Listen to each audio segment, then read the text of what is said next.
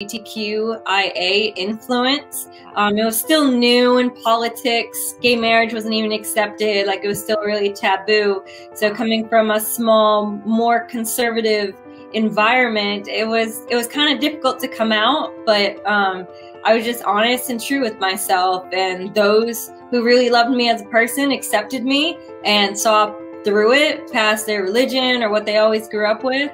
And those who didn't, well, they weren't worth my time. So, yeah. I love that you said that. You know, it's that's not worth your time if you're not getting that love given back and that um, appreciation for who you are and you know the realness of you. Right, absolutely. I think um, one of the biggest failures we do as human beings is constantly trying to find validation through other people when you should be finding validation through yourself first and foremost. Of course, you could always use people as like a moral check or and a person to bounce ideas off of. But if you aren't validating yourself and, and giving yourself self love, then how can expecting other people to do it is a very slippery slope. Yes. Back to what I was saying with the self validation, lots of people are so worried about what everyone else thinks or says, what their opinions are. Um, but the reality is, is if something makes you happy, it's your page. You put out what you want. It's your music. You put out what you want because reality is you're gonna have people who don't like it or people who think they can do better and will put you down. But you can't, you can't take that energy. You have to do what makes you happy. Yes, girl. yes, I'm feeling the empowerment here. Yes, you have to do what makes you happy and not uh, care what other people think and make that as your validation. If you really believe in something and believe in yourself, just follow that dream and follow that path. Exactly. Follow your heart in everything you do.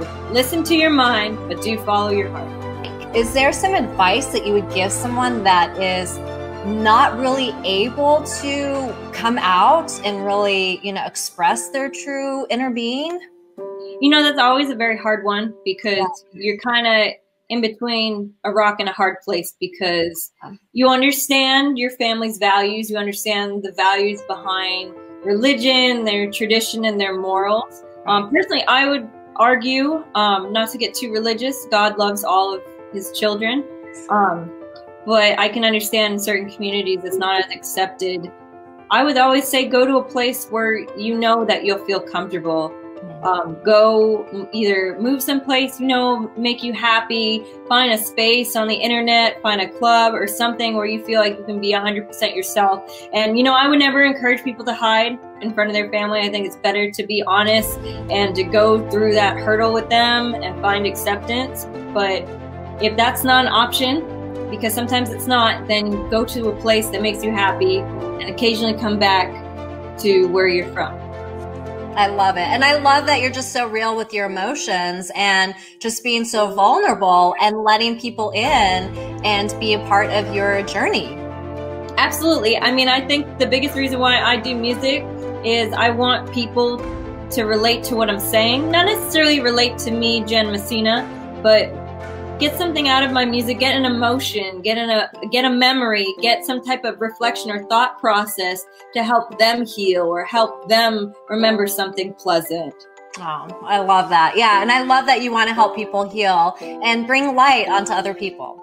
Absolutely. I mean, what it what is music if it's yeah. not an emotion or an outlet or healing or what is it?